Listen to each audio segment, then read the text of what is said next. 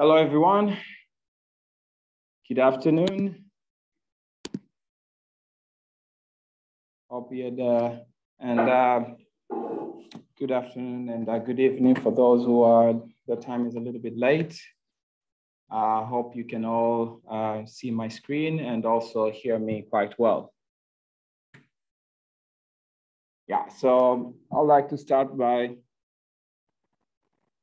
uh, welcome you to this uh, second day of our um, um, tracker use uh, level one uh, webinar, where we are going to um, look about DHIS2 tracker, you know, a little bit of an overview and uh, features updates on what we are, we have updated on the new versions, but as well as we'll touch upon a little bit about um, the feature uh, features which we are looking about to kind of incorporate within this uh, particular application.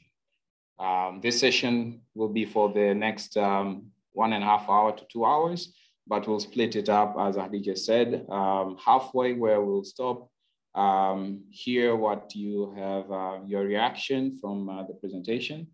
Uh, and we encourage you to kind of uh, post all your questions in the Slack and when the times comes, when we kind of uh, break a bit, you could actually um, have the time to actually pose that uh, uh, question. And uh, our facilitators, a team of facilitators here will be responding to these uh, questions. So fire away. So basically our objective for our particular um, um, webinar today is about to describe what is DHS2 tracker. Uh, we hope that you had, um, uh, before attending this Tracker Use Level 1 Academy, you had time to go and attend some of the online uh, Track Academy, which we have. Um, so you have the basics of uh, the DHIS2.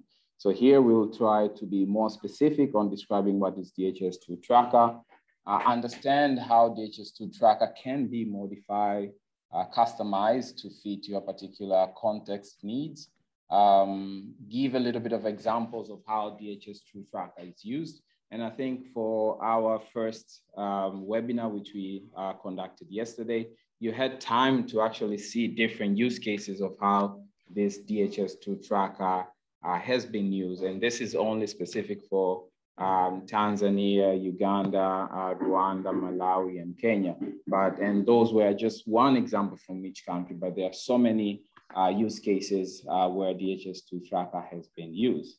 Uh, and then of course, we'll describe along the way uh, some of the features of DHS2 tracker, uh, which we have um, um, um, available. So um, DHIS2 tracker overview.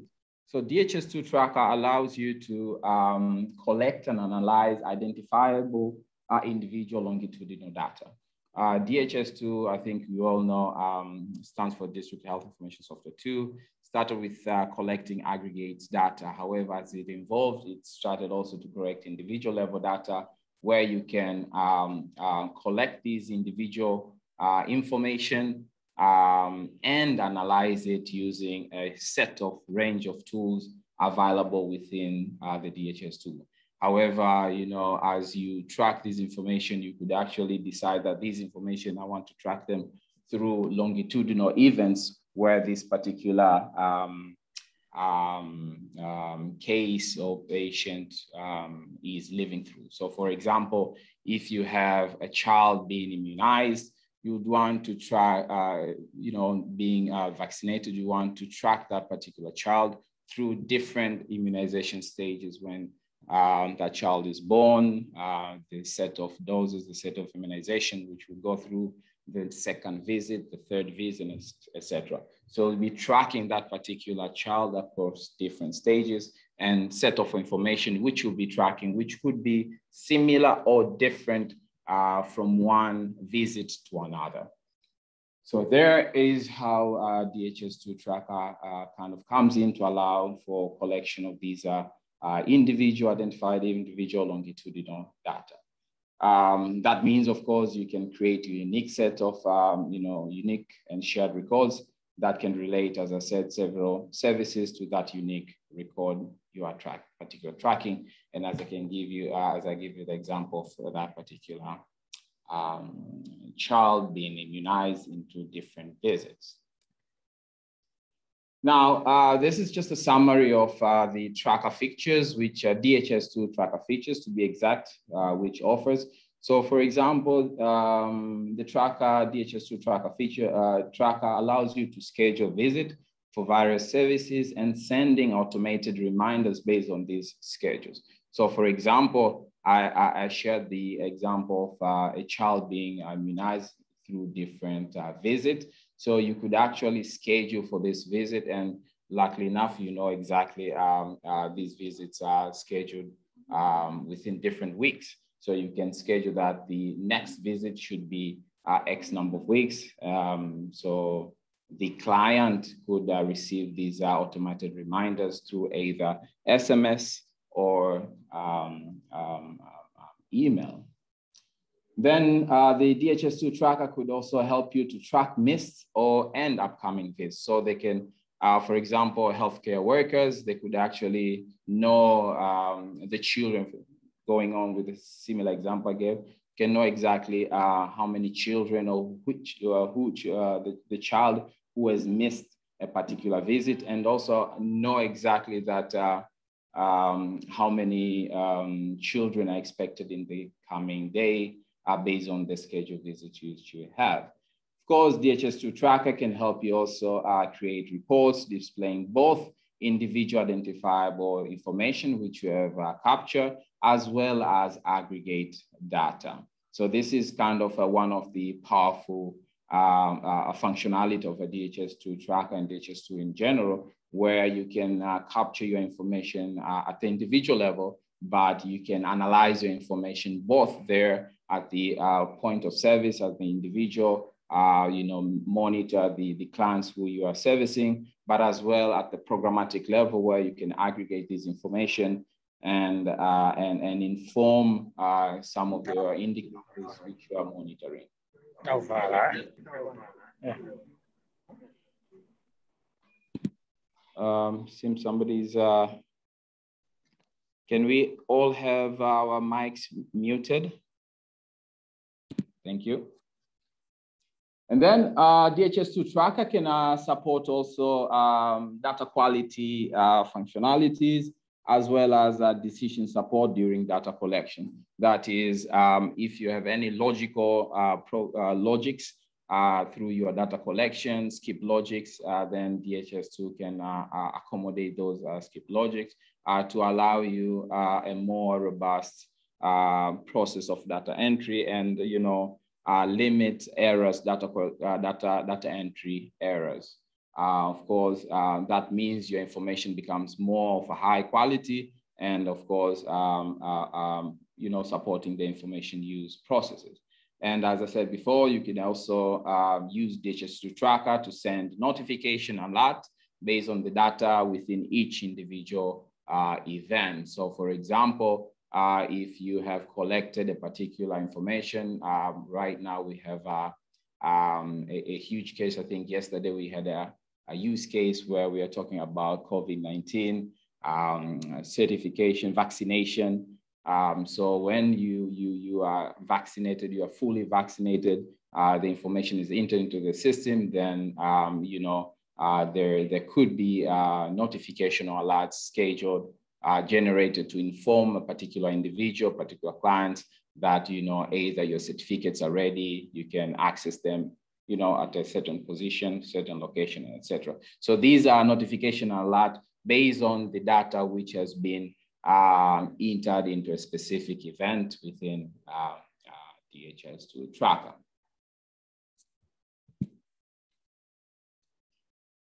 So that's, um, that's on the data entry, data collection, but also you could, um, it, it, supports also the analysis part. And this, this is where it gets more fun. That is, you don't only use this uh, DHIS2 tracker to collect information, but rather also uh, to analyze the information which you have collected. So you have collected your information at an individual level, but these information can be automatically aggregated uh, based on the pre-defined parameters through your either program indicators um, or, or, or, through these uh, DHIS2 analytical tools. So this is something which is very powerful in terms of, uh, you know, within the DHS2 tracker, where you can have these uh, information as quickly as possible, uh, you know, from the individual level to the aggregate level. Um, yeah, and then of course you can uh, you can both have these individual and aggregate tracker data can be viewed in these uh, different uh, DHIS2 analytical tools, you know, such as dashboards, tables, charts, and map. There are a variety of analytics analytics tools which are there. It's you uh, and your, you know, system of administrators, system of uh, users who can configure these things, uh, make sure that you can view this information, um, you know, at the fly.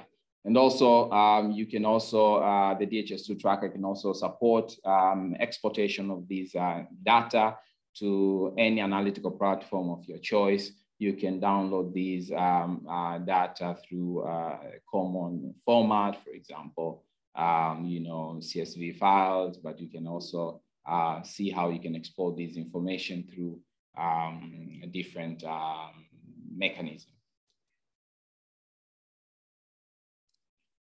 So when we talk about, uh, as I said, uh, DHIS2 track, um, you know, helps you to collect your individual uh, level data. So when we go to uh, an individual level data, uh, the aspect of privacy uh, is, is, is, is a concern. So um, DHIS2 allows you or contains these granular sharing settings that allow your system administrator to define which organization levels, um, which uh, user, which groups, uh, which individual users or which uh, user groups can, you know, can access, access specific kinds of data stored within the uh, tracker program. Later on in our presentation, we'll kind of uh, display or show you a little bit of that aspect where one can either view uh, a particular record but not, you know, enter this information uh, the other one could not even register uh, this information within the tracker. So these are kind of a, a set of, uh, uh, uh um, I would say, sharing setting or access level, which DHS2 can be uh, customized to allow that only individuals who are supposed to view a certain individual information can view them. Only individuals who are supposed to create or register this information, they can uh, they can be able to register this particular information. So that's, uh, that's something which uh, is quite important when you are dealing with uh, individual level information. Also, uh, hosting of uh, DHIS2 instance is handled by owner organization who define their own parameters of data storage, you know, depending on local laws and privacy concerns. So if your organization, for example, your Ministry of Health um, is comfortable to host a DHIS2 instance within their, uh, you know, organizational uh, data center, then it's fine. If it's uh, they're hosting it within uh, the national data center, that is fine. But also if it's um, uh, hosted uh, on the cloud, that, that is something which the own organization needs to make a decision on where do we want to host our DHS which will host an individual uh, uh, data. And even if um, you host it uh, in the cloud um, national data center uh, or within your own offices, uh, access access to this particular database and the data data itself in, within will be limited to who you provide access to. So this is something which is very important um, uh, to, to, to kind of underline this, that the owner of the database is you, the person or the organization uh, or the institution which is, um, you know, hosting uh, this uh, database and running this database. Now, that means that you might need to make sure that you have a clear SOP to make sure that, uh, you know, who access what and when and, and etc. So those are very key um, uh, aspects. Then, of course, uh, you know, when you decide to host uh, this DHS2 um, uh, tracker, um, the configuration of that is, um, is um, uh, others could say pretty much straightforward, but others could, be, uh, could also have a different opinion. However, um, the DHS2 team or the HISP team has kind of um, come up with approach where you can have a, a number of standard digital packages, uh, you know, configurable digital packages, which can be as a starting point uh, of starting, you know, collecting certain particular uh, information. So for example, the HISP uh, community has been working with these uh, global uh, international organizations such as WHO to establish these standard packages, for example, for malaria, uh, for immunization, um, uh, malaria, TB, HIV, and also for immunization, where you can you can have a set of um, you know predefined uh, metadata ready to be uh, imported or uh, inserted within the your DHIS2 instance, and you can start running uh, those or start collecting those information, but following the standard, international standard, which has been set there.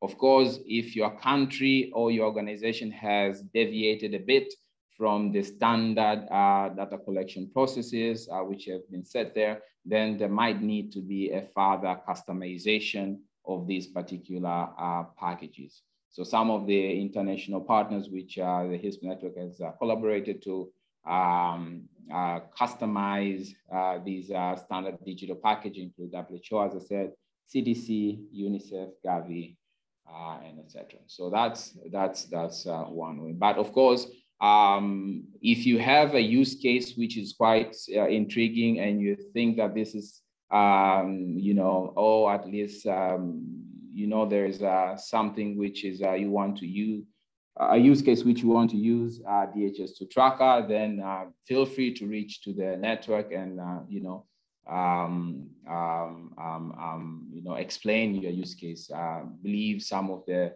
people within the network who might help to uh, uh, uh, advise you how you can configure that as well.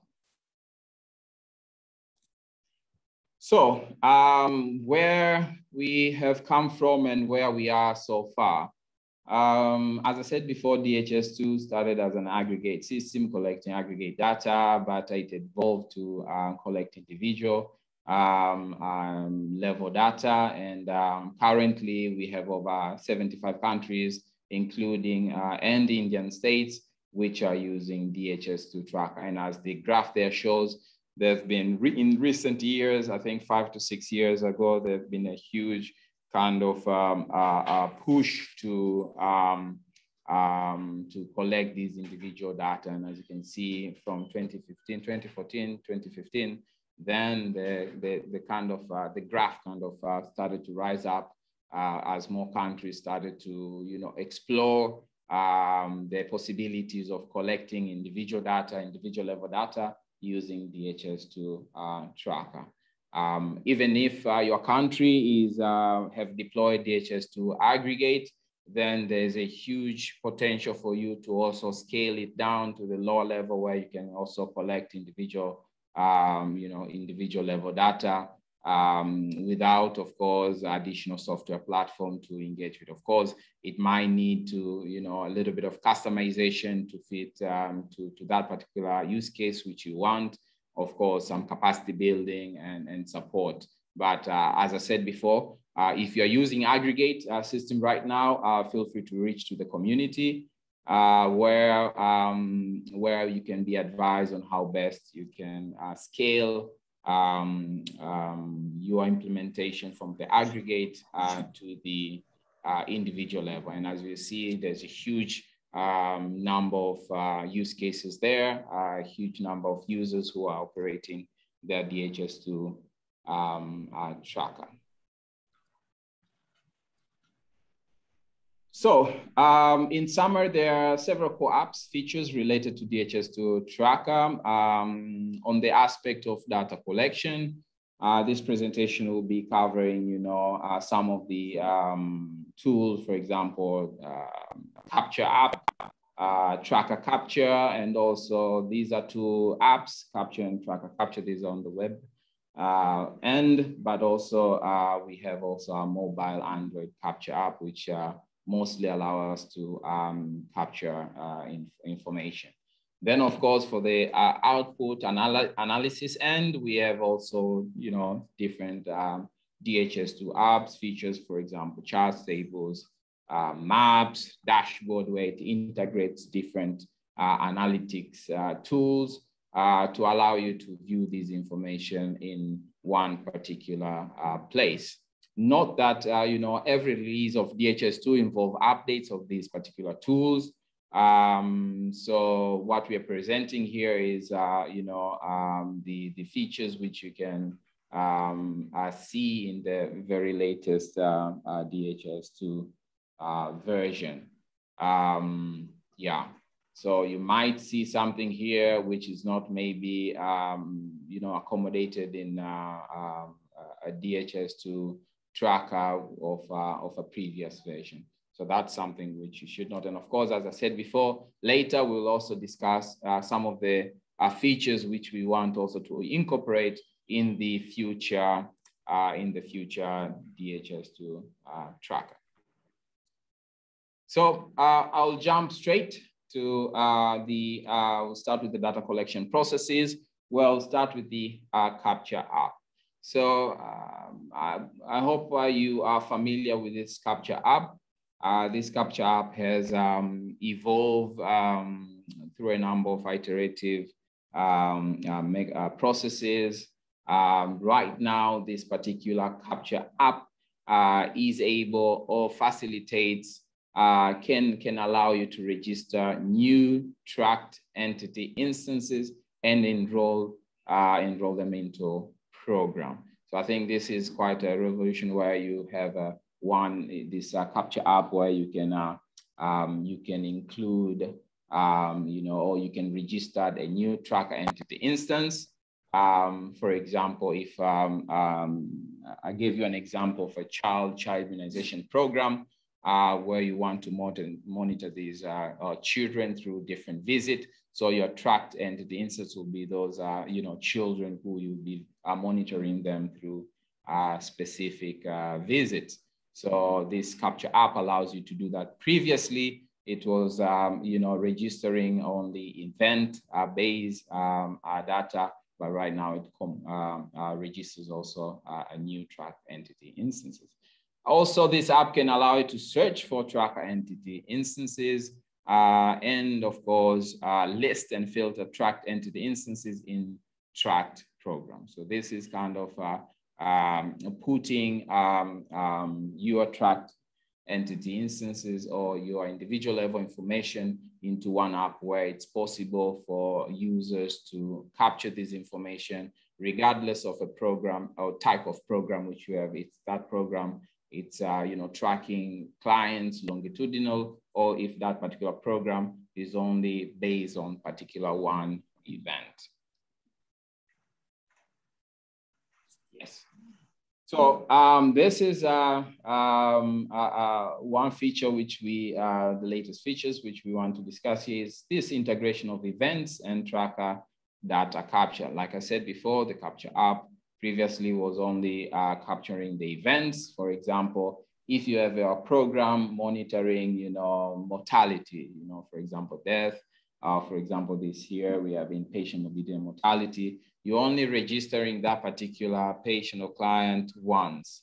So once they come to a um, service uh, point of service, you record, okay, uh, this particular person has come, um, he has either, if there's, it's, uh, it's about mortality, then you say that, okay, um, time of death, uh, you know, um, cause of death and etc. all this information, and of course the personal information of that particular person. So you don't expect to record uh, additional information, you know, or, or you have another visit of that particular person if that person is, is, is has uh, uh, has faced some um, mortality issues. So that's a more or less event. It's more or less kind of collecting individual level data, but you're collecting it uh, at that particular event.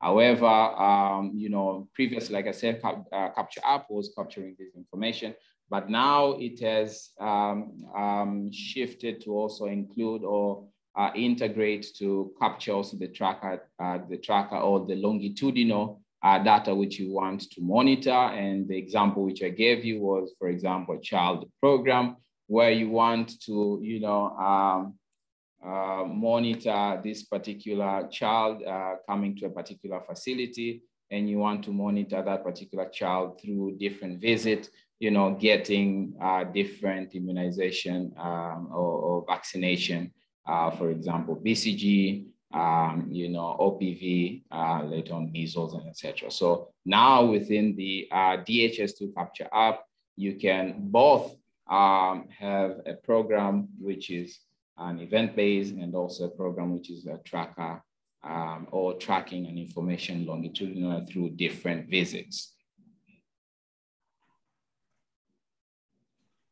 Then, of course, uh, the Capture app uh, is now uh, accommodating pattern-based ID generation. This is something which uh, it has been requested uh, for, for a long time, where you can um, uh, have a pattern-based ID generation, where when you are registering a person, you can customize your, your app so that it can, you know, generate a unique ID for that particular patient uh, or client, but this particular unique ID can should follow a specific uh, uh, pattern. So um, based on certain criteria or parameters which you have kind of identified.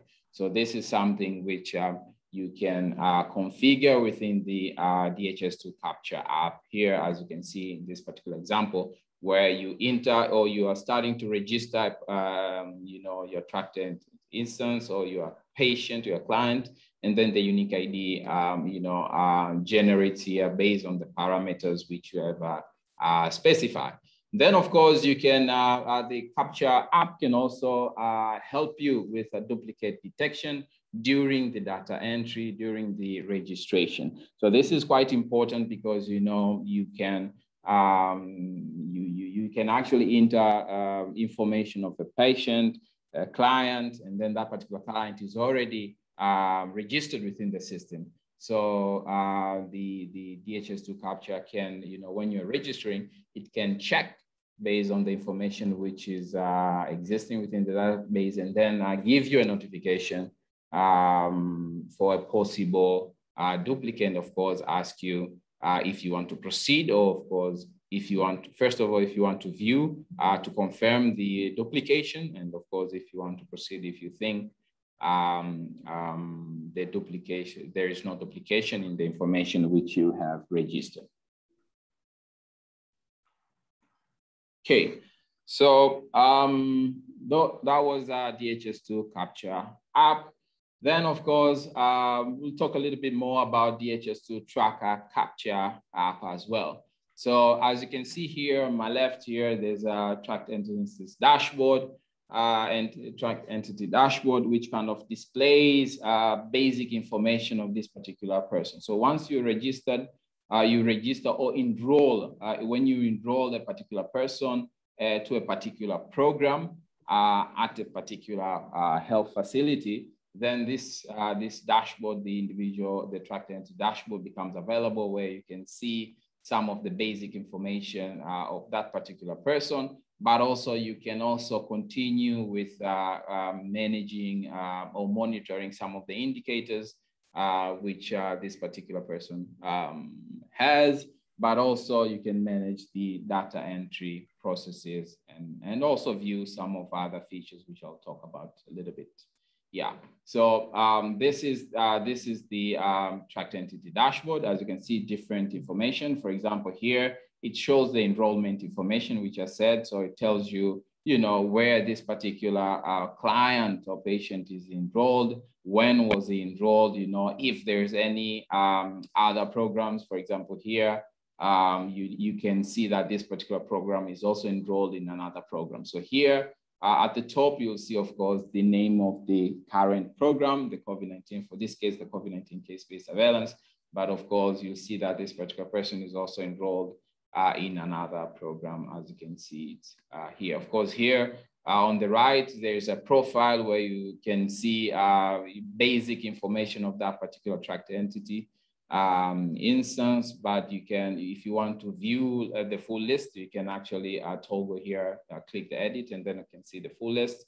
Uh, you can also uh, view and manage relationship of this particular uh, tracked entity. So relationship is linking between one uh, tracked entity instance to another based on a certain relationship. Could be, you know, mother to child, Um, or it could be for this case of COVID-19, it could be, you know, a suspect to a contact tracing uh, uh, um, uh, and etc. So the relationship, all of these are customizable. You can customize and then you can actually start to add these relationship here. So you can manage the relationship of the tracked entity instance here through the uh, tracked entity uh, dashboard. And of course, as I said here, you can see uh, the indicators, configured indicators for this particular tracked entity instance. For this example, we have the patient age here, 41 years plus one day.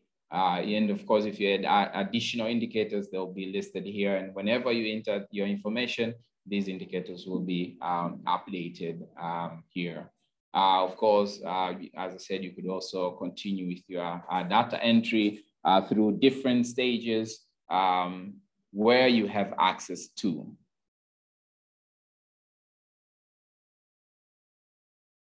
Okay, so um, um, one of the um, uh, key feature which has been accommodated is to allow you to compare repeatable events during data entry. Now, as I said, DHIS2 tracker allows you to track your information across different uh, visits. And there was a need to actually, you know, when uh, a, a, health worker or at the service point of entry there, when you're entering data for existing visit, you should be able to view a previous visit and, you know, try to compare uh, or triangulate some of the information which you're entering now versus the uh, what was entered uh, or what was shared in the previous uh, visit. So um, uh, the, the, the, tracker capture now allows you to, um, you know, enter your information, uh, the current um, um, um, data entry. Then, of course, you can view or you can compare this with the information which was entered into the previous visit. So for this particular example, we have here an antenatal um, program where it monitors pregnant women, you know, um, through different antenatal visits.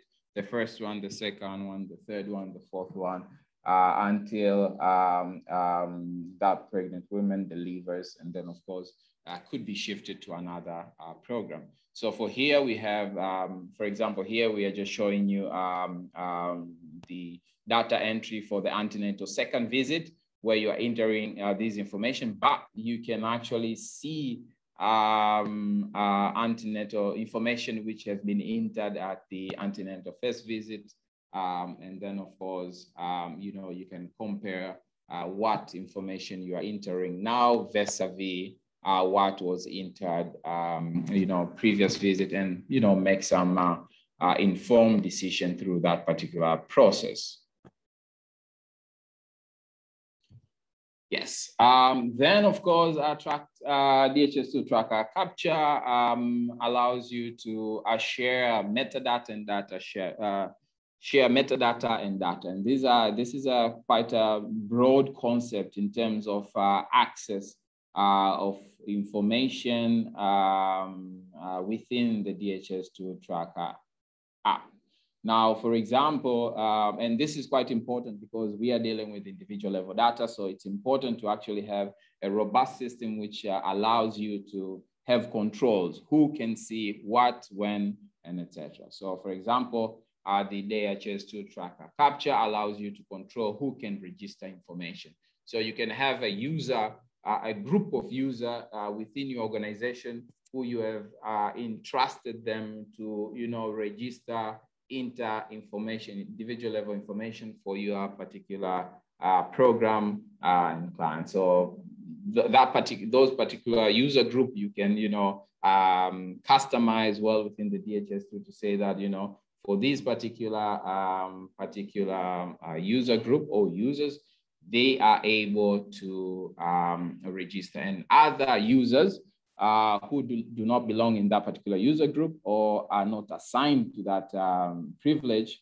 then they will not be able to create uh, or register uh, patients or clients within that particular program. And this could be based by program and program. For example, uh, you can have immunization officers, uh, you know, at the facility level, uh, being given access to register clients um, you know, um, their clients uh, in the child health program. But you also have malaria, um, uh, for example, good um, uh, maybe uh, you have a disease surveillance officers uh, who are working with the, for example, another program, COVID-19 surveillance, then you they are only monitoring or they are only um, able to register uh, suspects or clients um, in a different program uh, from that uh, child health um, child health um, program. So that's uh, that's one aspect where you can look at it. Uh, then you can actually control access to specific program stages within uh, a specific program. So I could give you an example of um, COVID-19 um, surveillance uh, program where you, you know, um, once you have a suspect, you need to register that particular suspect. Um, and then of course, to, you know, confirm that particular suspect, you need to take a sample, uh, send it to the lab.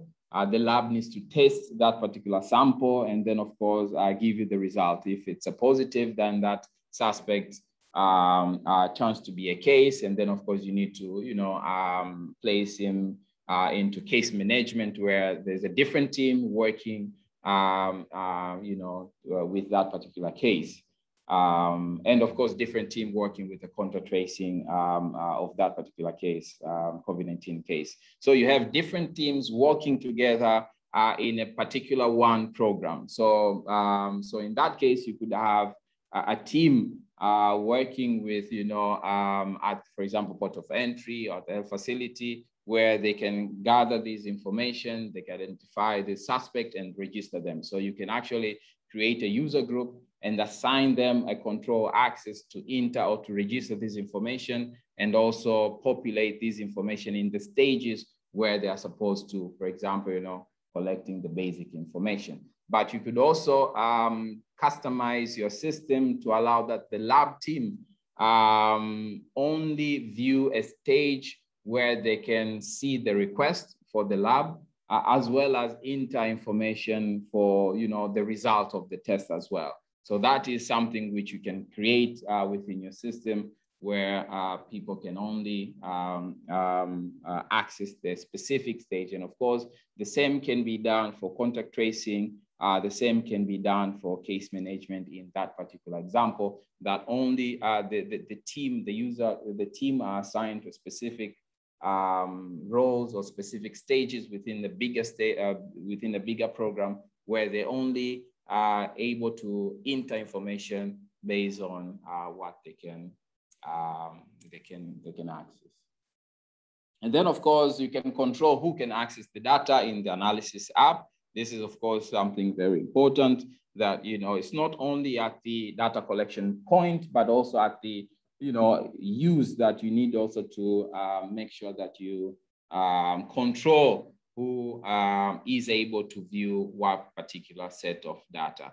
If you have multiple program within your national, um, uh, you know, instance, national database, uh, then you can actually decide that, you know, analytically, yes, the information is entered at the facility level, uh, where you have, you know, a, a small number, a team where they enter this, all this information from, from different programs, for example, HIV, uh, malaria, uh, maternal and childhood, etc. But at the national level, you want, you know, uh, the national HIV program, uh, national AIDS control program to actually view only their set of indicators and data. That is something which you can also um, uh, configure within your um, analysis analytics apps.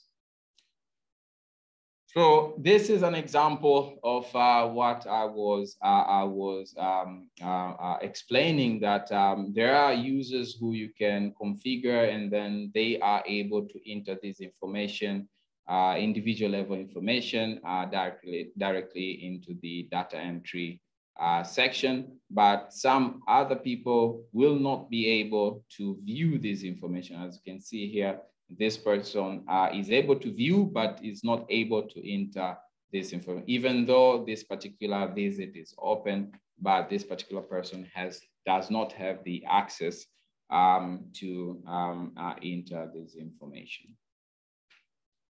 Then um, uh, DHIS2 tracker uh, capture allows you to persist the top bar while entering uh, uh your information. So the top bar is this, uh, you know, the, uh, the this gray bar here where it have these attributes, information of that tracked the instance, the information which you, um, you know, registered when you are enrolling that particular person. So sometimes uh, when you have uh, registered and enrolled that particular person, you might come and you know continue to enter data for this particular um, instance, and you might need to kind of cross-check or um, to see uh, to, to, to know which uh, I mean, am I entering information at the you know right profile, right client? So you can configure your app where this uh, top bar uh, can be persisted and you know you can continue to enter your data while this topper um, you know uh, hovers um, within your particular app even though you scroll down so this is something which is uh, quite um, relevant uh, especially on the data data entry uh, part then of course um, another function which is um, uh, um, quite quite um, innovative, uh, but I'm not so sure if a lot of people are using it. Um, you know, this uh, breaking the glass. So, um, you know, to ensure confidentiality, to ensure that uh, you know the right person can access, um, you know, can view um, only the information which they are supposed to. You know, there's a there's a need to kind of uh, set some barriers, set some uh, controls in, in a way that, you know, uh, one, one person can search, can view, can access other information. And also importantly, to put audit, you know, uh, trails where you can know um, who has been searching for what and why. I think these are, these are very key uh, in, in information. So for example, I could give you an example that for uh, a health worker in a particular facility um, is trying to either find an information uh, of a client which is not uh, based on that particular facility or in a different, uh, you know, registered in a different facility. So DHIS2 allows you to search for that particular person, but you can actually put in place some controls um, where you can monitor who searches what uh, and for what particular, you know, for what particular reason. So for example, uh, this customization, you can, you know, set this customization to be either open, uh, audited, protected, or closed. If you uh, say this is, um, you know, um, this is um, closed, then of course uh, that particular person or the health worker cannot, of course, search for these records in uh, in in in uh, in in, the, in those other facilities. But if you can say open, then that particular worker can search and access, you know, this particular information. But uh, once you, you know, put it here audited or protected, then when the health worker searches for that particular, you know, record, then they'll be, you know, prompted uh, with this particular dialogue here that, you know, this tracked entity instance belongs to another organization unit, you know, uh, please fill in the reason for accessing your action is being, you know, monitored. So that, first of all, tells uh, the health workers that, you know, the system is um, quite comprehensive and monitors um, um, most of the action which are happening uh, within the system. But also the health worker could also, you know, um, enter this information uh, and, and, and allow for uh, a record to be shared or to be accessed across different facilities. And I think this is something which is quite um, innovative in its own way. Then, of course, um, uh, the DHIS2 tracker uh, capture app uh, allows you to, you know, um, trace uh, to find this audit history um, of who did what, when, and those kind of things, you know. Um, and, and this is quite important when you're running, for example, your organizational database, your national database, where you have so many users, so many things happening. Um, so having a, a proper uh, audit history where you can track all this information is quite useful. So for example, here you could actually track um, uh, audit history for, you know, um, um, tracked instance attributes. So, and of course, uh, data elements. So for the attributes, attributes are these values uh, which we capture when we are registering a tracker entity instance, you know, for example, uh, first name, uh, last name, you know, date of birth, gender, and etc. So you could actually track who has changed, you know, uh, have they created, have they updated, you know, have they deleted, those kind of things. And, you know, um, uh, um, it puts, of course, here the date, uh, the date and time of these particular uh, uh, changes. And then, of course, uh, we have the data element. These are the values which we capture in the follow-up visits. Um, and, and you could also, you know, capture this information as well um, uh, whenever they are created or updated, you know, and who has updated that, as I said, um, and, and, and of course the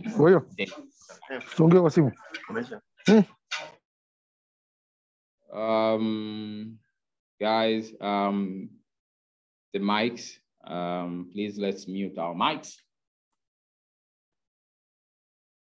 Okay.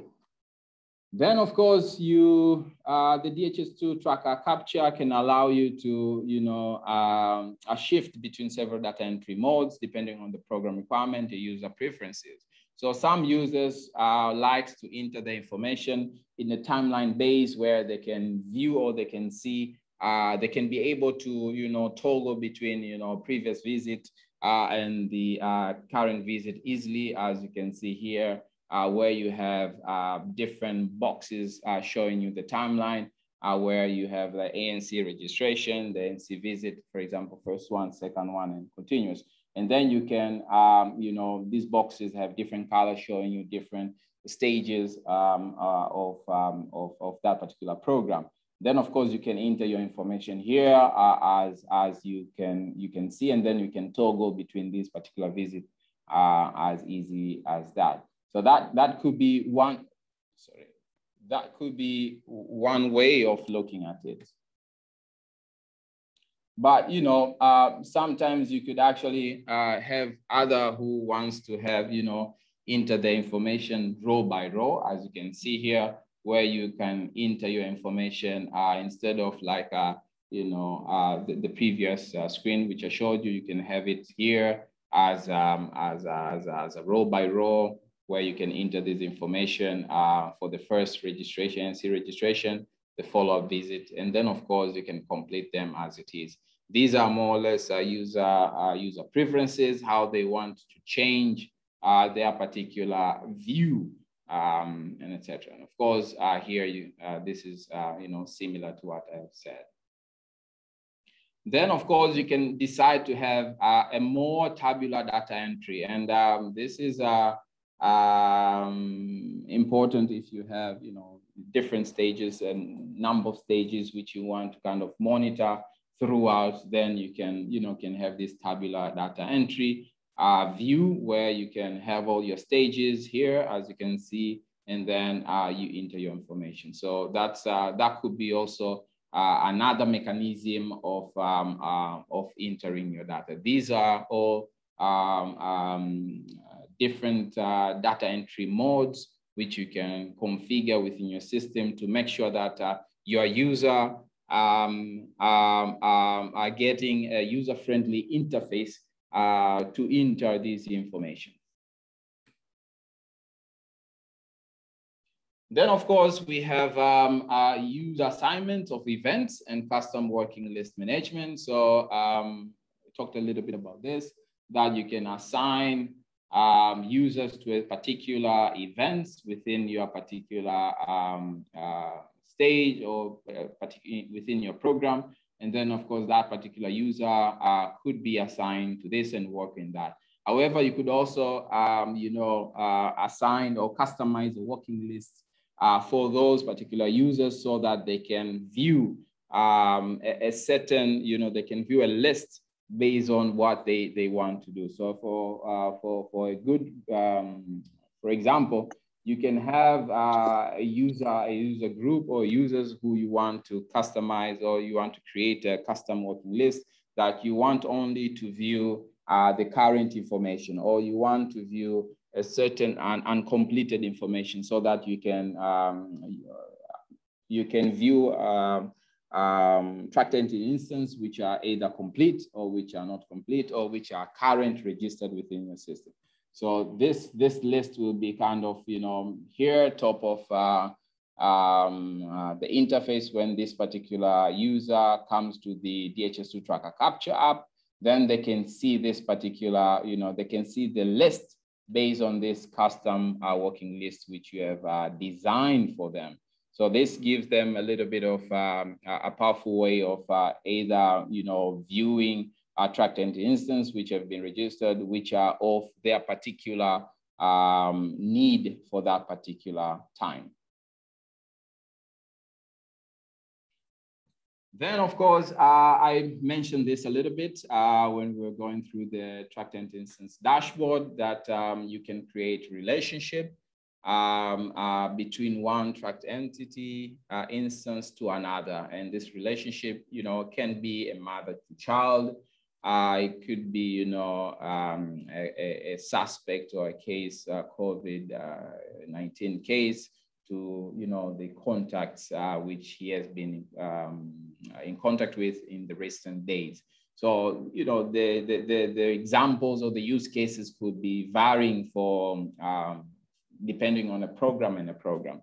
So um, this relationship can be added uh, as easily. And of course, one thing, when you are in the tracked entity instance dashboard, you can see this um, um, um relationship, but also you can see the um, the contacts uh, which you have uh, linked with. So for example, this here, you see this person has a contact with Sarah and James and how you can do this, um, you can, you know, add uh, it's, it's quite straightforward. You can, you know, add and then you present it with a dialog box where you can search for another tracked entity instance within the database, or you can register a new um, um, profile or, or um, page uh, class. Then um, um, um, that particular person will be linked to your to your identity instance. Then, of course, um, I mentioned this a little bit. Uh, there's somebody with a mic on. Please mute your mic. So um, then we have these enrolled entities in multiple programs. That is, a, a, pro, a person can be in one uh, program, uh, but you can um, you can allow allow for that particular person to register into a different, uh, a different program. And this is, can be done directly um, in, the, in that particular tracked instance uh, um, dashboard.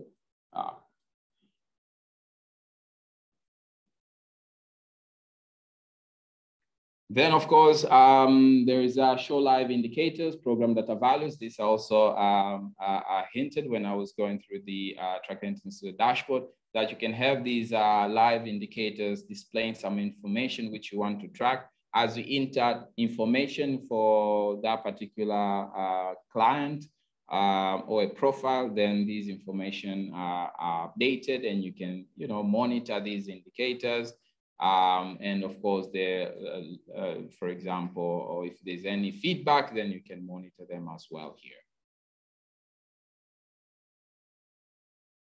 Then, of course, the DHIS2 tracker capture can, you know, allow you to schedule visit and track these uh, visits and their status as well. Um, you know, you can schedule for a visit. For example, if a person, if a child is vaccinated, uh, you know, uh, in the first once they are, you know, um, born, then they uh, there are certain kind of uh, uh, doses which they are given there uh, within two to three days, but uh, you know they are scheduled to receive other vaccination in the, you know, in the next visit. So you can reschedule this particular visit uh, there, but as well as you can also track this particular visit and see the status that if they are missed, or um, they have attended or if they delayed attending um, uh, in their visits, you know, and etc. So those are kind of things which you can uh, um, you can you can uh, you can track, but as well uh, not only tracking, but you can also send reminders uh, to these scheduled visits uh, to the um, you know clients, patient, but also send notification based on the occurrence within an event. So for example, here, um, there's a, a, a, a, message here from the lab. For example, this is a message from the lab, which says the lab result of, uh, uh, you know, unique um, identification are ready at uh, CHW Mahsot.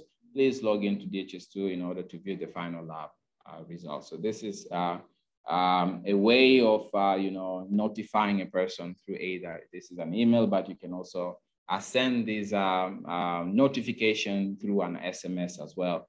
Um, either by when uh, a certain occurrence is happening in a stage, for example, here the values has been entered into that particular lab stage, or based on the scheduled visit, you can schedule that, for example, two days or three days before a visit, you can notify the client that, okay, in the next two days, you're supposed to come to visit to a particular clinic.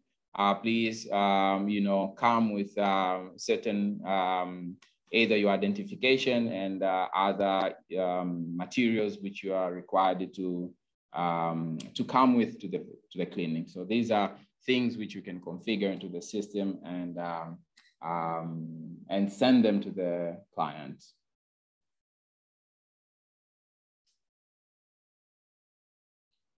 Then, of course, um, uh, speaking of data quality, uh, improving data quality, uh, adding a little bit of uh, decision support within the system. Uh, the DHIS2 Tracker app can allow you to do this. Um, um, basically, yes. So here you can uh, see this example where um, um, you have um, different vaccine and the different vaccine uh, have a different approaches. Um, these are different COVID-19 vaccine and the different vaccine have um, uh, different manufacturers, uh, information, different batch, lot number, uh, you know, different um, uh, uh, vaccine expiration date, but as well as the schedule for the next dose. There are some vaccinations which, you know, have one, you can only have one dose uh, as a J&J, but other vaccination uh, requires you to have more than one dose, um, uh, but their schedule is quite different.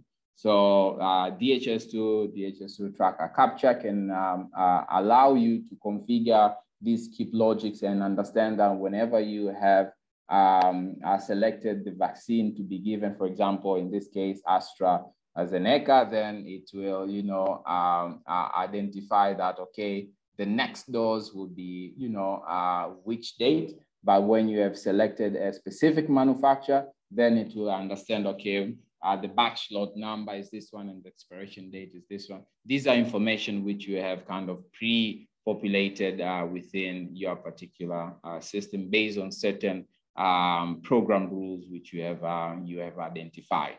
So this helps of course, to improve the quality of information uh, captured within the system, um, but also alleviate some of the workload uh, at the point of entry.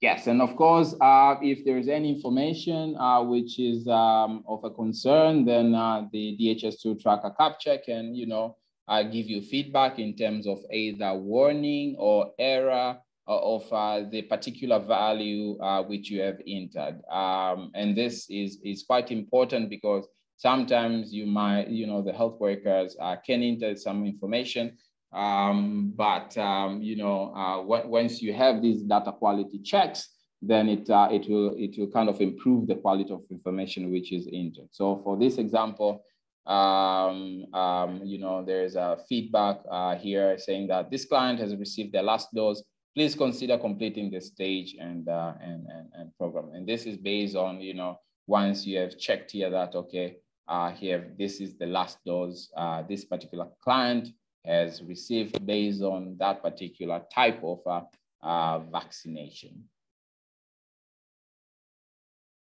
Okay, so before jumping to DHIS2 Android, uh, let me stop here and um, welcome some of the questions which um, participants might have.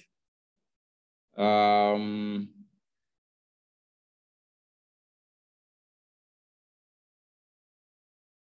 if there is um, um, participants who have um, a burning question, uh, maybe you can raise up your hand.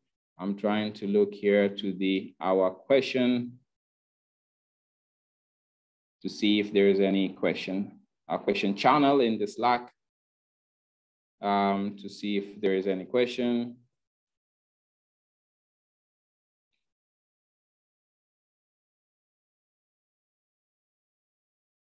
Okay, so I see here there's some question, but um, does the pattern-based ID generation work for event program? I'm currently 2.35 version. I'm wondering if that is possible in that particular version.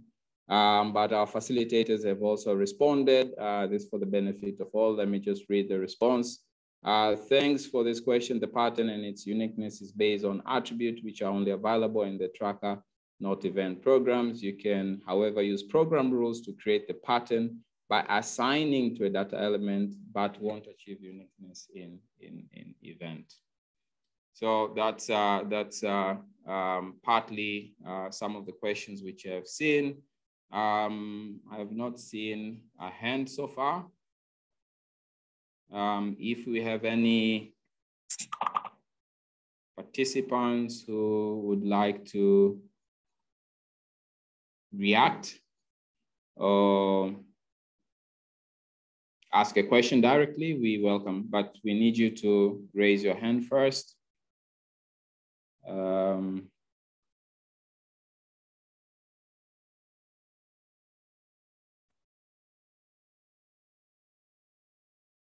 Okay, somebody was having a challenge about uh, the Slack channel. I hope um, we have shared the Slack channel. I think um, now you can be able to go to our Slack channel and go to the question and I'll respond there.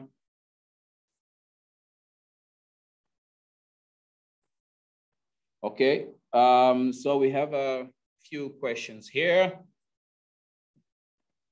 One says, my Mayamiko Mendamenda says, um, okay, um, on the, uh, thank you for, for this helpful presentation. On the Capture app, what properties are being looked for during the duplication detection? Is it only the first and last name or all the user details? Now, to allow this to, um, to make it more interactive, let me welcome some of uh, my um, colleagues here to respond to, to, to, to, this particular question so that you can also hear their names, uh, hear their voices as well. I hope you're not uh, tired with hearing my voice. Any response from uh, the facilitators?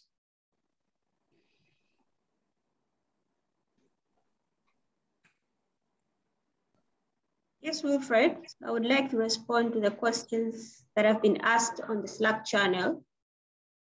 One is asking if at all we're going to learn on how to use these features that have just been presented. The response is yes. Starting from Monday, we'll be looking on these different tracker features, how to use them, and of course, even the analytical part of it. And there's also another question asking, when do we use tracker capture or capture itself? So I think at some point, Wilfred had mentioned that tracker capture is sort of phasing out, where previously tracker capture was specifically for tracker related data, meaning that uh, you're tracking data that it sort of has a continuation. It's not just a one occurrence data. And the capture itself was used to capture event related data, meaning that it's one time data. It doesn't have a sequence or a follow up. But uh, moving, uh, moving forward, the tracker capture is phasing out and the idea is to have a single capture app that will be able to incorporate both tracker data as well as event data.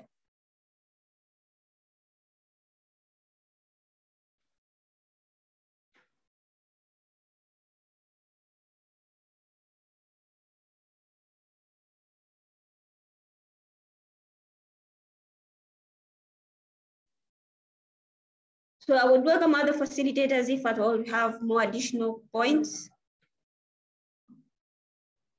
Yeah, thank you. Uh, this is Prosper, uh, Uganda. Yeah, just to take on the question about duplication, uh, and I just to um, to go back on the question and be, be, able to understand what you're asking. And, and I think here you are either asking in relationship to in relation to data entry. So you want to capture duplicates as you enter your data, you want to see if the record has, has been entered before or not by just based on the uniqueness that you have defined in your system. If that's the question, uh, the, the answer would be no, it's not restricted to the first and last name.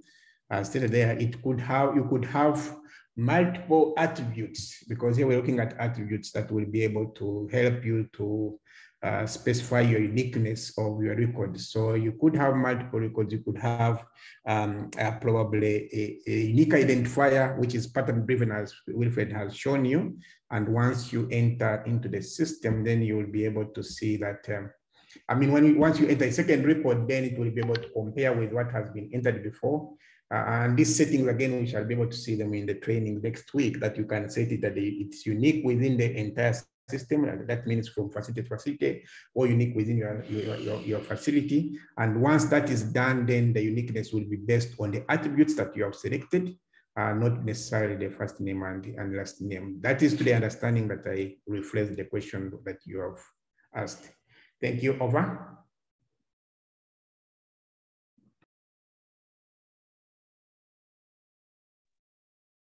Thank you, Hadija and uh, Prosper for uh, those well uh, elaborative um, uh, response.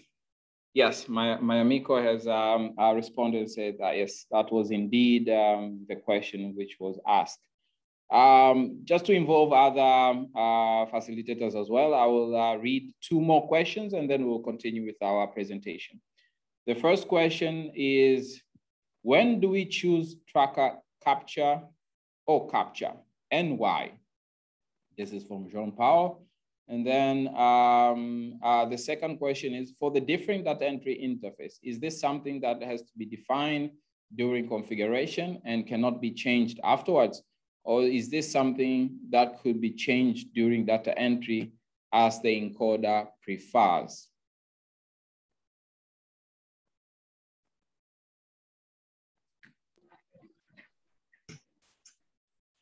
All right, uh, this is uh, Tiwonge. So I think the, the first question was already responded to in terms of the, the, the, the capture, the tracker capture and the, and the capture. And for the views, those can be switched at, at entry in terms of whether you want that other standard view or the, or the tabular view. So one can yeah, switch And I think I also see in here there's a, a question on the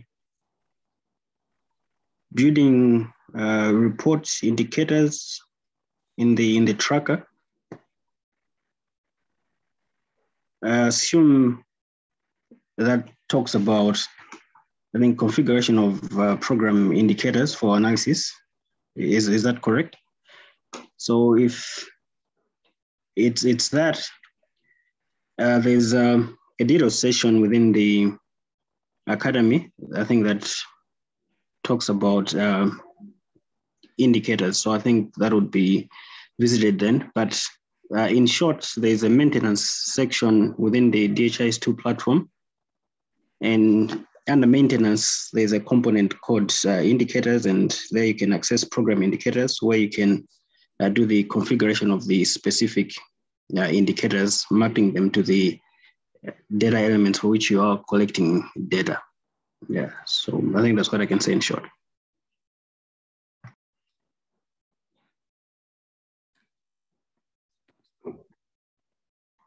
Thank you, Tiwonge, and I would just like to build up on what Tiwonge has said. Uh, speaking of program indicators uh, configuration, there's a separate academy for that. But for this academy, we'll be focusing more on how to use whatever that has already been configured into the system. So there will be a, a session on how to use program indicators, but more details on configuration that will be covered into tracker configuration indicator.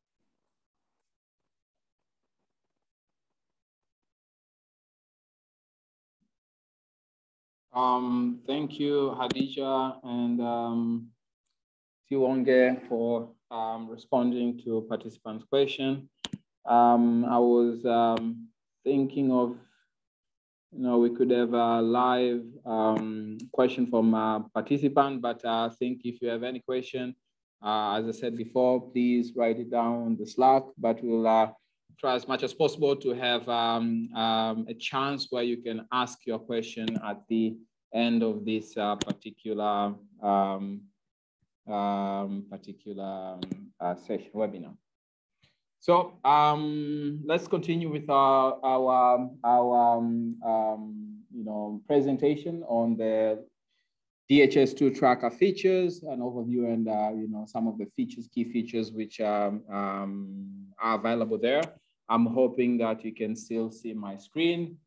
Um, yeah, so we have covered uh, more on the web, uh, DHIS2 capture app, DHIS2 tracker capture, how you can, you know, and different features where you can capture this information. You can maintain the quality of the information which you are capturing, but as also you can, you know, uh, send some notifications, some reminders um, uh, to your clients and etc.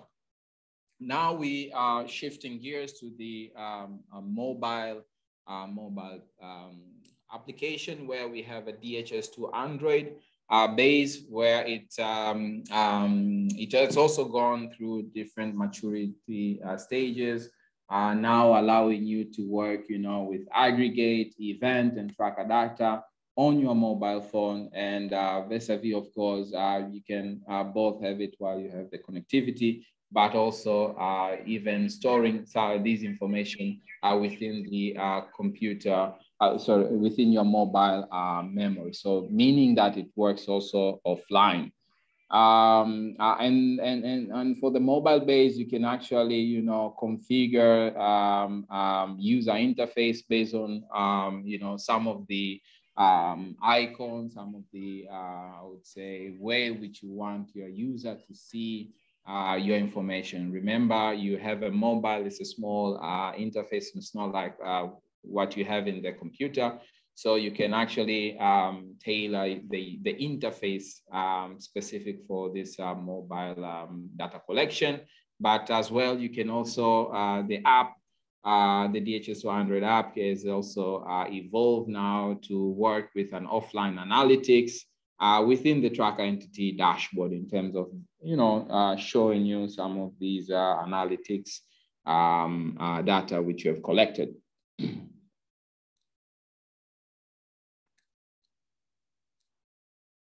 Yes, so um, as I said, um, the interface is different. Um, so you in the DHS 200 app, you can assign different uh, or different colors, different icon um, to your particular program. Remember that um, uh, at the facility level, at the web-based web-based system, you've configured different kind of programs that are there, but you know, uh, once these uh, programs are accessed through the DHS200 app, you can configure them to have a specific, you know, colors um, um in terms of program but as well how uh, in, in, in terms of color, in terms of where, how you enter the information, you can also um, uh, work, work on that.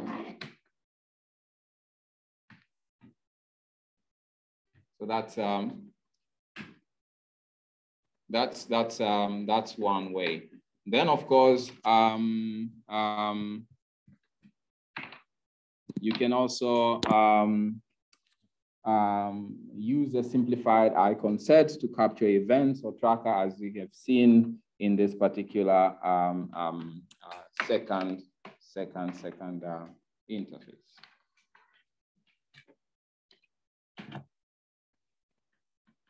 So that's one way of uh, looking at it.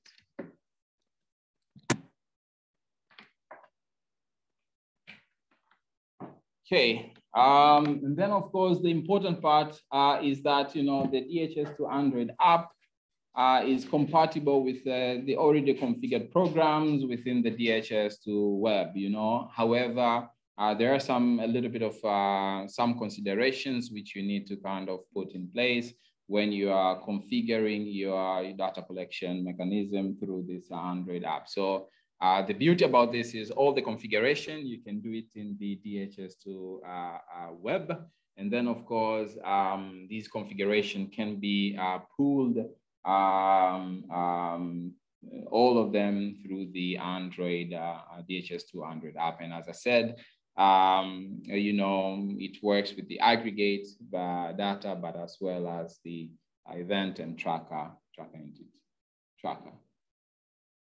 So this is a kind of an example of, uh, you know, a program, vaccination in a particular facility where you can see um, uh, different sections, um, you know, uh, data entry through different sections. And, uh, you know, within this particular app, it can actually give you a notification of, uh, you know, how many fields you have already entered, you know, if there's any notification to be uh, informed, it also kind of highlights, highlights here. So it's kind of uh, very intuitive in a way that uh, it helps um, the, the, the data clerk at the, you know, service uh, point of service to actually enter this information. If they see that there's a missing value, they can actually go directly to that particular session, but also they will know that, okay, uh, I've already entered, um, um, you know, um, all set of information which is uh, currently required in this particular uh, stage.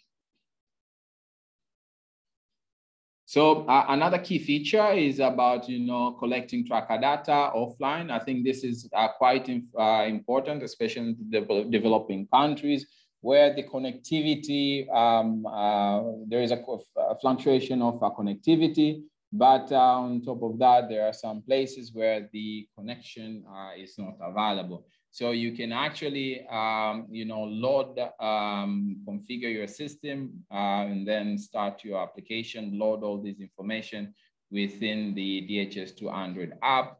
And then, of course, you can go to the outreach uh, places where there's no connection, you can, you know, um, enter, um, proceed to enter your information within this uh, DHIS2 Android app. Uh, all these information will be stored within the device uh, memory. Uh, whenever you have the connection, then of course, uh, this information uh, will be synchronized uh, with the DHIS2 um, there. And of course, you can also even schedule this kind of a synchronization. So whenever um, at a particular point of time, then the, the, the, the app will actually uh, see how they can synchronize this information. Of course, important part is that you all, always see these uh, notification that, you know, there is some kind of, uh, uh I, am not so sure if you can see this, but there's this uh, icon here, uh, this gray icon will kind of show you that uh, there's data stored in your device only, and it needs to be synchronized with, with, the, with the saver. Uh, once you sync, uh, it's synchronized, then this uh, icon here be, have now changes to green. So whenever you see this now, you know that your information or your record is synchronized with the server. And, and that is the important part because uh, you, you want all this information within these uh, local devices to be synchronized uh, with the server so that all this information are put into one place and uh, the national uh, program people, they can work on this information. Or at the organization level, you can work with all this information from different sites which you are collecting.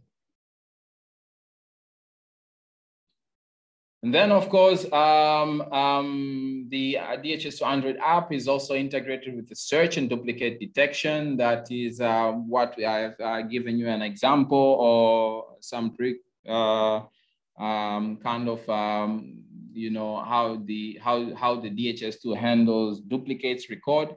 Uh, this is something which, um, which uh, DHIS2 also uh, Android app can also do that when you're registering into um, uh, search and of course uh, um, uh, find any duplicate based on the set of uh, criteria which you have checked. And as uh, Prosper said, um, um, um, based on the attributes. Um, and then, of course, we have uh, full support for the tracker entity dashboard. Um, as we saw in the web, where you can have the profile uh, information, where you can have, you know, the indicators, the relationship, uh, where you can um, add uh, some data, then of course, even in the uh, DHIS2 Android app, this is something which you can also see. So for example, this is the tracker entity, uh, you know, dashboard where you can see the basic information of this particular uh, tracker entity instance. The profile, you can view more details. You can go to the indicators and check um, the, the indicators which have been created. You can go to the relationship to see the relationship which are available there, the notes but also you can, you know, um, um, either view the events which have already been occurred, entered, but also schedule new one and add uh, another one. Of course, make a referral if you want to make a referral. So these are, um, uh, you know, information, or I would say kind of a tracker entity dashboard uh, on the level of a DHIS2 Android app. And then of course, um, um, you can actually have a map view where you can review uh, your entities with coordinates uh, on a map instead of a list. So uh, the previous um, uh, um, um, um, previous slide, I showed you where you have uh, kind of a list of uh, your um, your entities, but here you could actually also review these entities through a map uh, see how these are and where these entities are and also um, uh, the distance, I would say, uh, to the, um, I would say, service provider. So you could actually see uh, where they are. And also, of course, uh, it allows you to capture location. And in the location base, you can capture, you know, these one through the device GPS, uh, but you can also capture, you know, as a point exactly where uh, either this particular uh, client stays or where that particular event occurs, but also you can track, you know, you can capture polygons uh, of that particular area. So that's, uh, that's kind of um, uh, um, way where DHIS2 Android app works. But also you can um, uh, take pictures and read QR and barcodes for registration and searching. This is quite useful if you are dealing with um, uh, logistics where uh, some of these information are, you know, stored in these uh, QR barcode instead of, you know, uh, starting to enter all this information from scratch. You can uh, uh, scan, take a picture, read these um, barcodes, and then all this information or some of this information will be um, populated um, within your um, your, your, your Android, DHIS2 Android app. So this is kind of uh, an innovative way of uh, uh, fast tracking some of the um, data, data collection processes. Then, of course, um, there is a way of uh, how you display your option sets. Um, um, so basically, um, we can render these options within the app, um, uh, you know, um, vertically, but uh, there was a need also to do this horizontally. And as you can see there, these radio buttons and checkbox, you can actually uh, render them, you know, either horizontally or um, vertically, depending on the choice um, depending of course on the value type which you have um, you have choose, but depending on other criteria which are there. The most important part is that when you're rendering this um, uh, horizontal, just be careful about the number of options uh, which you have, because if there are too many, then they uh, start to cluster. And it is much more neat if they're um, um, um going here, I would say uh, vertically. So uh, I think this is a part, partly about, you know, the choices of, um, uh, of a design and see how the interface will look like at the um, at, the, at, the, at the data collection point. Then, of course, we cover this about custom working list. Also, the uh, DHIS2 app allows you to, you know, um, customize this uh, this working list, and the um, and the and the uh, health workers, for example, uh, will be viewing the list based on what you have customized. So either you can custom, uh, you can create a list based on the events which happened today or based on events which they assigned to that particular health worker so that they can monitor, you know, these uh, um, uh, uh profiles, I would say, or tracted instance um, and, and, and continue with the data entry. So this is something which also at the Android base, Android uh, level can be uh, achieved. then, of course, um, the log offline analytics in Attract dashboard. This is something which um, um, I hinted that uh, you can actually have this uh, particular um, uh, analysis, and this analysis can be either, you know, uh, a bar chart, you know, it could be a line chart, but also you can have a more um, uh, advanced level analysis. For example, these are child growth charts um, where you can track the uh, growth of a child from, you know, different stages. And if, of course, that particular um, child health is, you know, optimum uh, or not. So um, there's a huge, there's a different level or different ways of uh, visualizing uh, this information there at the DHIS2 Android app and of course through the Track10 instance uh, dashboard. So this is quite uh, an important part because, um, you know, once you collect this information, uh, you'd want to actually uh, be informed uh, on some of the parameters which you'd want to, um, to see. So for example, uh, a, a, very important use case was this of uh, seeing the progress of child health, you know, through these um, weight, weight featuring age charts where you can, you can chart and then also find the Z score and etc.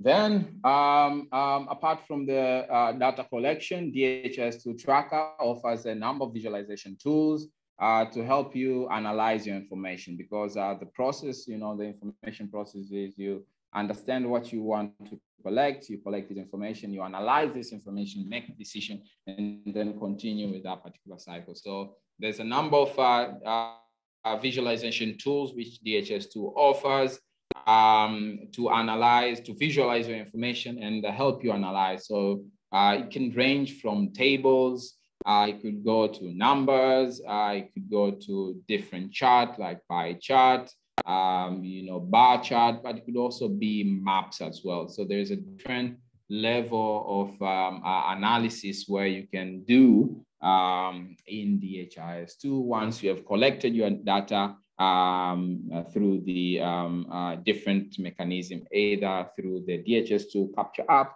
DHIS2 Tracker app, or the DHIS2 Android app. So the important part to realize is that uh, this information, once you um, um, are collected at the individual level, they can be aggregated and provide a summary of your uh, tracked, uh, tracked data and this is kind of uh, an example of, uh, you know, um, um, uh, an information where you have uh, immunized, for example, COVAX first dose um, um, and the second dose. And then you can, you can see here uh, the list of uh, facilities which are providing these services. But now this information is disaggregated you know, by the number of doses, but also by the gender, male and female. And of course, you can get the uh, the total. So this is something which you can get uh, uh, straight away once you have um, um, uh, enter your information uh, within the DHIS2 tracker. But of course, you can also create a, a detailed line by line report where you can, uh, you know, see exactly um, the information which you have entered um, and then, you know, monitor this information by specific record. So this is something which you can, you can, you can do um, in DHIS2 through uh, the, the, the, the DHIS2 uh, apps, but also you can, uh, you know, aggregate this information through the um, uh, program indicators, um, and then of course post them uh, uh, through the different, through other visualization um, apps, for example, dashboard where you can have now at the programmatic level, at the you know uh, higher level, now you can monitor this information that you know uh, across different uh, time, across uh, different parameters. So um, here is where the uh, importance of data collection becomes, where you can uh, you know seamlessly um, visualize your your aggregate information um, and inform your managers of what is happening in the ground. Then, of course, uh, based on how you have configured your information system, you can always, um, um, um, um sorry, based on how you have uh, configured your, uh, your system, you can always get the reports based on certain uh, parameters or option set, I would say. So for example, here you have configured your system to uh, capture different uh, COVID-19 um, uh, Moderna, AstraZeneca, and etc. So as you know, data collection process continues, you can have these information, you know, um, um, um have these analysis based on you know um, uh, the option sets which you have uh, you have uh, import uh, kind of customized. So for example, here you have AstraZeneca um, saying that um, yeah 4,825, and then of course other other vaccination as well. Then, of course, you can um, decide to create indicators which use both tracker and aggregate data. And I think this is kind of um, a powerful way of analyzing your information because some of the information could be coming from the tracker, some of the information could be uh, coming from uh, the aggregate part. And you can use this um, combination to inform you better uh, or to create an indicators which combine this information and then give you a certain kind of uh, very unique information. So you can triangulate or review these tracker data and aggregate. So for example, um, I can give you an example that during the COVID-19 um, uh, pandemic,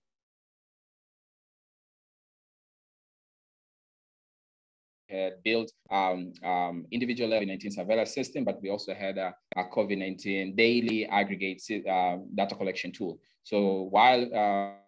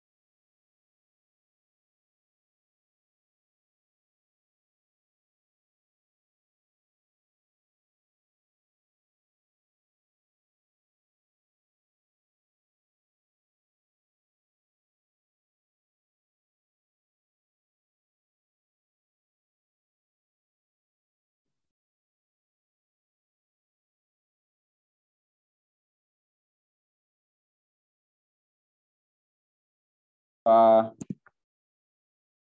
I had a connection problem. I hope you can hear me now.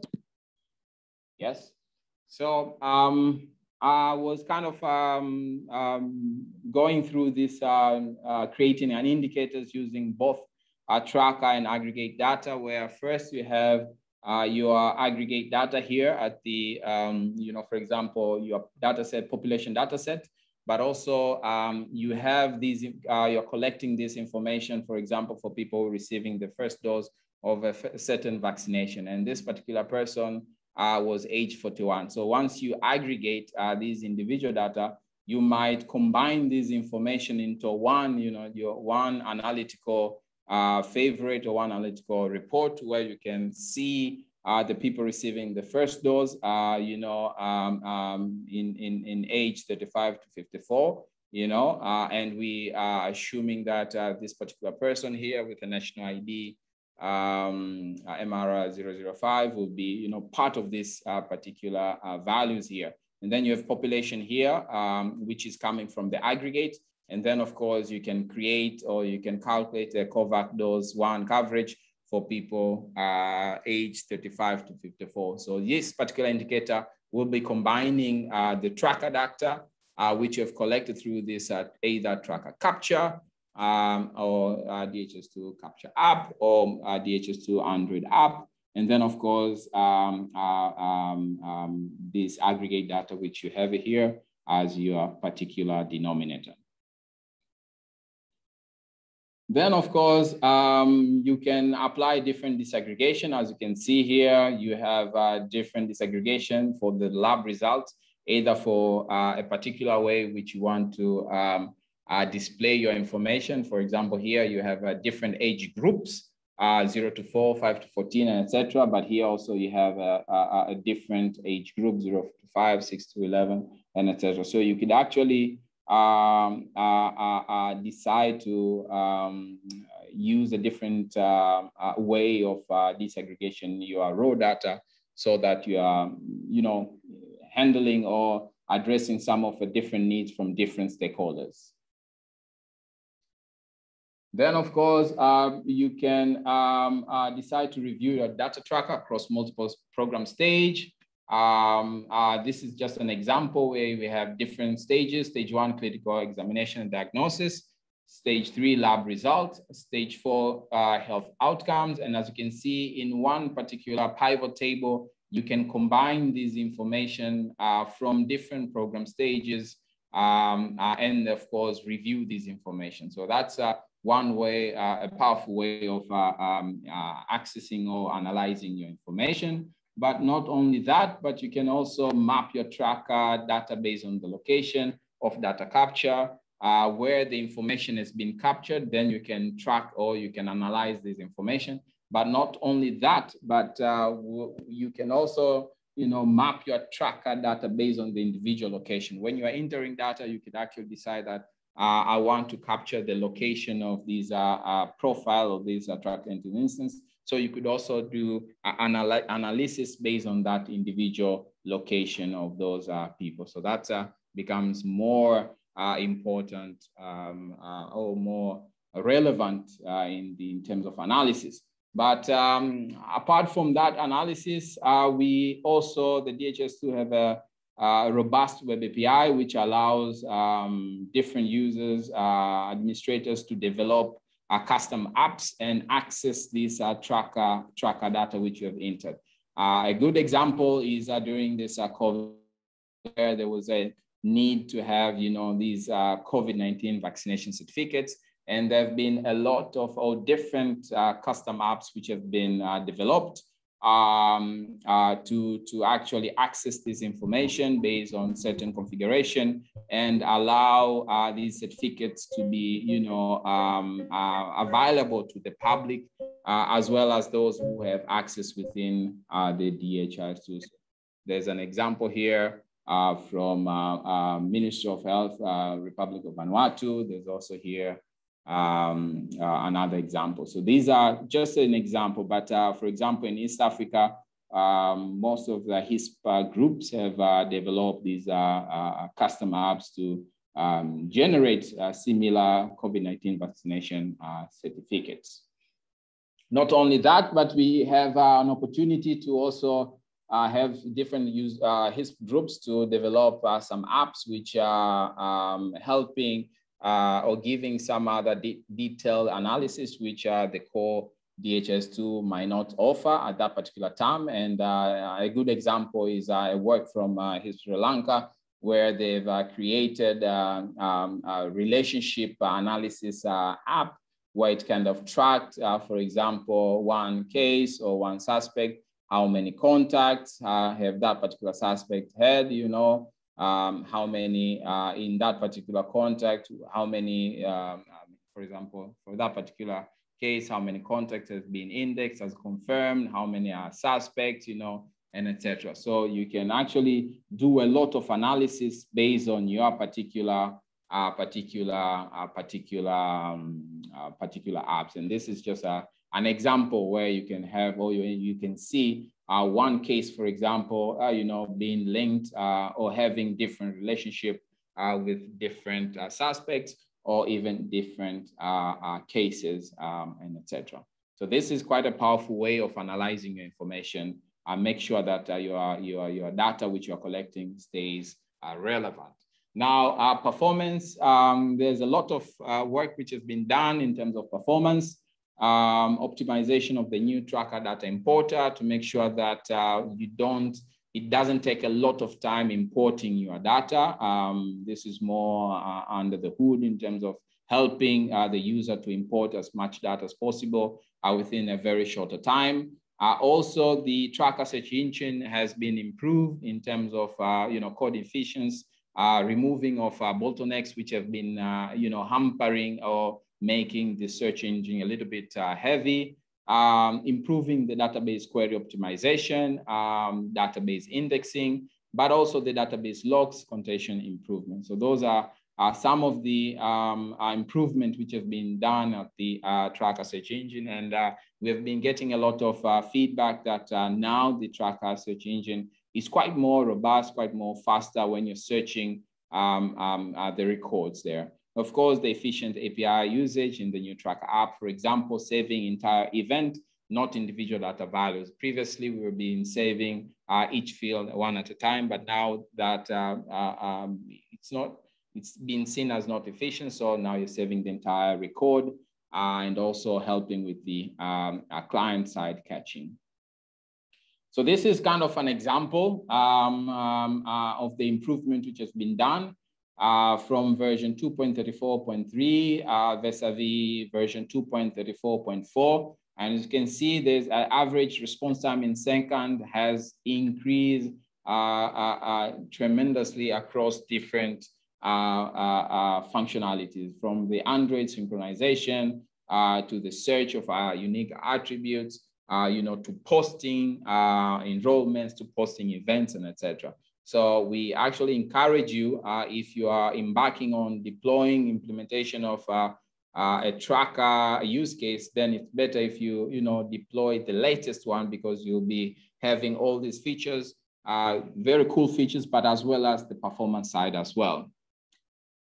Yes, and then of course, uh, usually DHIS2 has um, uh, two, uh, two cycle release. First one is in April, and then the second one is October each year. Um, we have uh, planning cycles prior to release uh, of the, the next uh, phase. So for example, for the release in October, we have a planning meeting in March where the team sits around and, and, and come up with all these prioritization. And for uh, the uh, release, the first release, April release for next year, uh, then uh, the team sits in September. So it's really important to understand this and also to see how you can uh, advocate either the HISP group, which is near you, or through the DHIS2 community that are some of the features which would want them to be uh, integrated or incorporated within the next release. So also, uh, so, uh, and then of course, um, the, the following slides, I'll be just presenting some of the upcoming features, which uh, uh are still in development and of course will be incorporated in the uh, next release, uh, but some of them are not yet finalized. So a good example is the new event report app, which will be taking a more modern user experience and tech stack uh, and of course, this particular new event report will be following a similar look and feel as the visualization app. I'm hoping you are all uh, familiar with the new visualization app where we have put um, um, you know, pivot table and the different visual, uh, uh, uh visualizations uh, into one app to accommodate that. So that's, um, that's one of the coming soon um, feature but also the tracker entity analytics, uh, where you can do a cross-program analytics. And I think this is something which uh, the community has been uh, asking for it for quite a long time. Um, this will be kind of a look and feel for the coming event report uh, overview, uh, where you can, you know, um, select your input dimensions here, but also you be able to drag and drop your dimension here as what it is uh, now with the um, DHIS2 uh, data visualization app. Then, of course, the new Tracker Web UI uh, user interface. This is something also which uh, it's been worked on. So this tracker support uh, for the existing Capture app. So um, um, all, uh, as Hadija itself, um, all new uh, tracker features will be uh, available um, in the Capture app. So that's the trend where we are going, where we are putting everything into one place so that the user don't shift much from one application to another. And some of the main themes, you know, as you can see here, uh, including tracker entity-centric dashboard, improved duplicate, record handling, line listing, organization unit and filtering, performance, and of course, modern user experience. These are some of the things which are um, uh, will be worked on. Of course, uh, this is just an example of the tracker web app uh, where you have the personal dashboard with enrollment overview. So this will be quite different from what I've uh, showed you previously, but this is where, uh, uh, uh, where we are going now, where we have this information um, populated here as the personal dashboard, where you can see the profile, you can also see the enrollment information, but you can also uh, continue with your data entry. So this will be kind of a, a little bit of a different view. So, um, and also you also have an enrollment dashboard with the stages and events, as you can see it here, um, uh, entering your stage, as you can see, but also getting these uh, errors and warning feedback uh, kind of notification whenever you are entering your information. So this is kind of a sidebar having all this information. So the point is to make um, um, the data entry experience or the you know the uh, uh, uh, the personal the tracker entity instance uh, dashboard as neatly as possible, but as informative uh, as possible. Then, of course, uh, the, the process of duplicate handling. I think this is quite an important part where it will be also um, um, being um, researched and also kind of being implemented. Uh, there's a lot of work being doing uh, done here in terms of uh, making sure that um, um, the system can, you know, automatically uh, flag if there's a possible duplicate and then ask for the administrators to handle those particular uh, those particular um, duplicates. Then, of course, line listing data entry. This is partly something which is being handled within the enrollment dashboard uh, to allow the users to uh, to do this line listing data entry um, in the in in in there. So um, just finalizing my presentation, uh, statistics from the field, uh, just a bit of uh, examples. Uh, it doesn't mean that these are the old examples, but this is just an example of how the DHIS2 tracker is being used. For example, for Bangladesh, you know, there's a, a measles and rubella immunization campaign where you have more than 400 100 sites, uh, more than 35 million vaccinations. So the system can uh, accommodate a huge number of events within that. And also uh, for Sri Lanka, we have, uh, you know, um, a COVID vaccination program where you have more than 60,000 entries per day uh, with a 16 million people tracked so this is how um, um, uh, robust the DHIS2 tracker is, is in terms of, you know, uh, being able to track as many possible as, as, as, as possible. Uh, but also another example is from Rwanda, where they've been uh, handling uh, COVID case surveillance, but also COVID vaccination, where they have around 100,000 uh, plus people per day being vaccinated, tracked um, through the DHIS2 um, COVID vaccination system um, you know, through around, and they have around 3 million targets by end of 2021. Uh, and of course, they have a target of 7 million by the end of July 2022.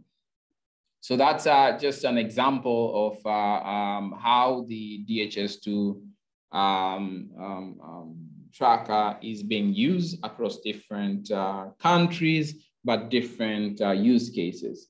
And just to end with my slide, uh, my presentation, um, you know, so when you're dealing with uh, individual level data, it's always about making sure you have a high quality of information. So um, the, the team is always uh, improving identification of duplicate records and making sure that you have a very robust search and matching uh, mechanism um, matching between different combination of attributes so that uh, it's much more easier to identify all these uh, duplication data.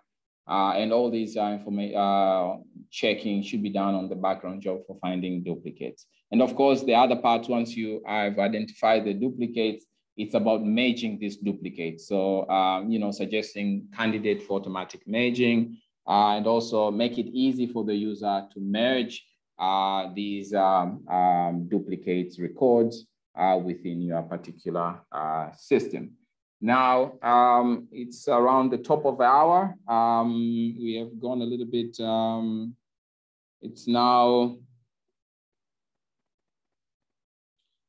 402 uh, East African time. Um, I know we started a little bit late, around 4.10 or 4.11. So I will welcome um, some questions uh, from the participants. Um, if you are around the participants, feel free to raise your hand and then we can unmute you. Um, just raise your hand, unmute you, we can unmute you, and then of course you can, uh, you can post your question here while we are reading uh, some of the questions which you might have posted um, in the in the Slack.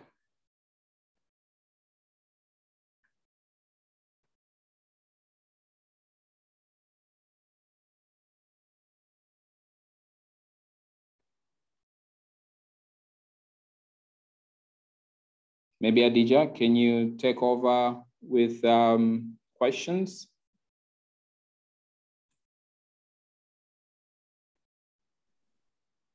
Sure, thank you, Wilfred. I think we have a couple of questions in the chat box, but as well as on the Slack channel. So I would start with the ones that are in the chat box. Um, the first question is, when the Android is offline, would it be still able to use the feature of real-time historical data comparison during data encoding? For instance, looking at ANC first visit while doing ANC second visit. Any facilitator to respond to that?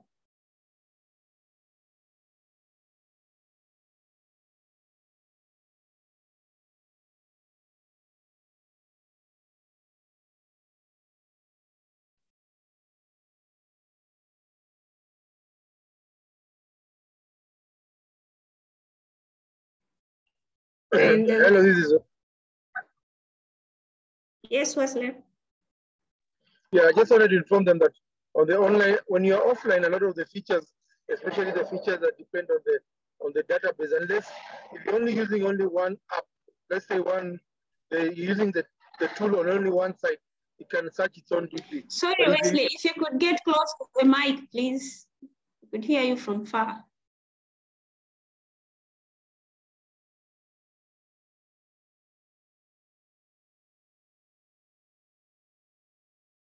Wesley?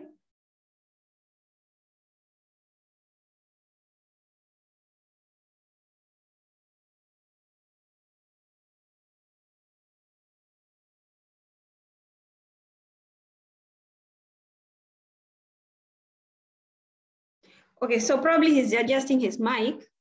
Uh, we have another question, which is asking regarding the line listing, can we import backlog data from Excel?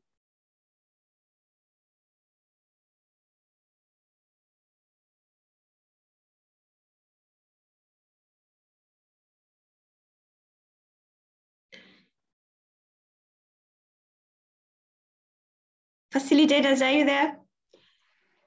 Okay, so No. regarding the backlog data uploading, DHIS2 supports uh, uploading of data, only that you just have to abide to the DHIS2 format. And it's not exactly as Excel, but rather as CSV format, but it also supports the JSON format as well. So all you, all you have to do is make sure you follow the format or template of uh, tracker data uploading. Yeah, so I think just to add on to that, I think on the App Store, there are also some apps uh, that assist with data import. I think like there's the, the data's app. So those are also a bit more user friendly in terms of like allowing you to map some some fields to to a, to a program. So I think they're quite assistive in trying to import uh, data into the the, the DHIS2 tracker.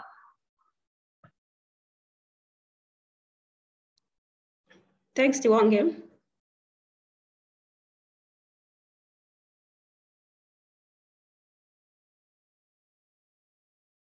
Okay, another one is can Android app hold on data for a relative long time if the server got hacked or if it cannot be reached due to different reasons?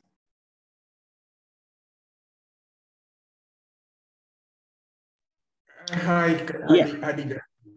Okay, I can go ahead.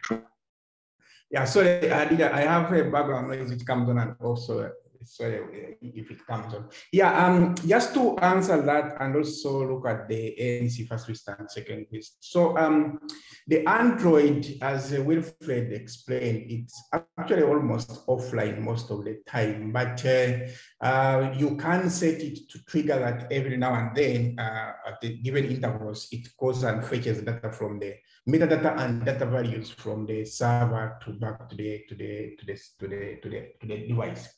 So what happens um, in, in, terms of storage, that will heavily depend on your storage of the Android, the Android phone, the Android phone. So the storage on your phone will limit how much data you can be able to, to, to store on your phone. So if you have, you know, a small memory on the phone, then you will not be able to store quite a lot of data.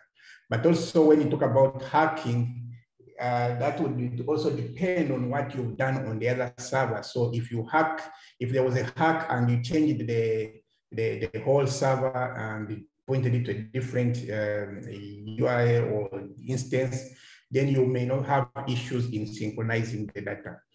But otherwise, every time you are online, the, what the Android does is synchronizes both ways, upwards and downwards for you to be able to keep the data. For the facilities you are assigned to capture data and also uh, temporarily the facilities where you are allowed to be able to search uh, in, in, in, in, the entire organization unit. So that's uh, what actually happens with the Android. Um, so you can keep data as long as your memory is not full but it's always advisable to keep synchronizing data upwards and, and downwards. Then when it comes to the question which was asking about the on, Android offline and enjoying the off the online real-time data, uh, this what actually happens with the Android for the tracked entities that you have access to, that is the tracked entities where you where, where you are assigned to capture data.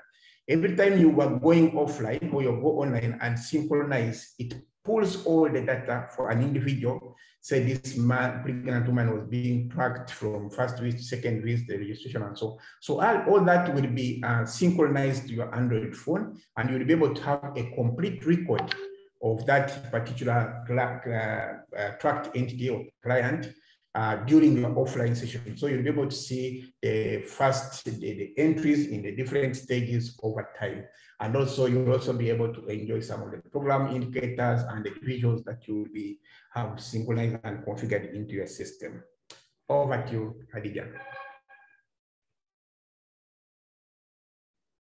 Thank you very much, Prosper. I think we have another last question, but from Prosper's response, I, I, think it has already been covered. The question was asking on if at all the Android app is offline. So from Prosper's explanation, I think uh, the answer is clear that it, yes, it is offline as well. Um, looking at the time, I think uh, should end this session. If there are more questions, you can just drop them in the Slack channel. And be looking forward to meeting you all on, starting from Monday, there are actual sessions now of the Tracker Use Academy. Of course, I'll be sending out uh, the Academy agenda and of course, uh, more details about uh, the session starting from Monday. Otherwise, thank you all for joining us today and looking forward to meeting you all on Monday. Thank you too. Thank, Thank you. you. Thank